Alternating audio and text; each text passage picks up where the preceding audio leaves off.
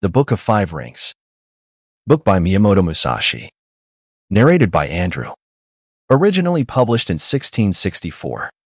This is a great audiobook production created for research, study, and discussion purposes.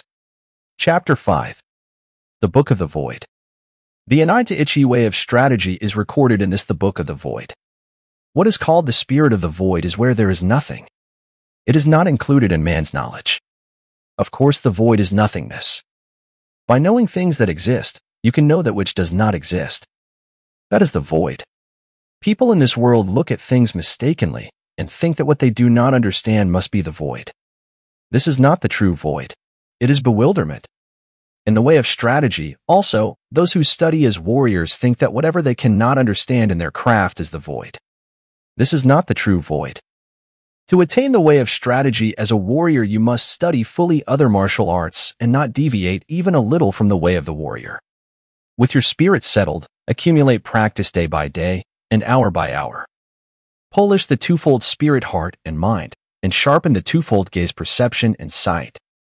When your spirit is not in the least clouded, when the clouds of bewilderment clear away, there is the true void.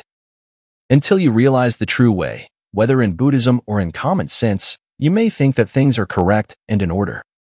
However, if we look at things objectively, from the viewpoint of laws of the world, we see various doctrines departing from the true way. Know well this spirit, and with forthrightness as the foundation and the true spirit as the way. Enact strategy broadly, correctly, and openly.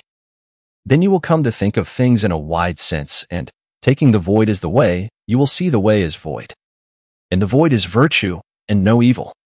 Wisdom has existence, principle has existence, the way has existence, spirit is nothingness. Twelfth day of the fifth month, second year of Shoho 1645.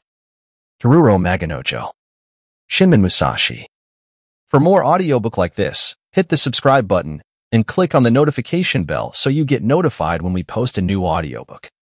Thanks for listening.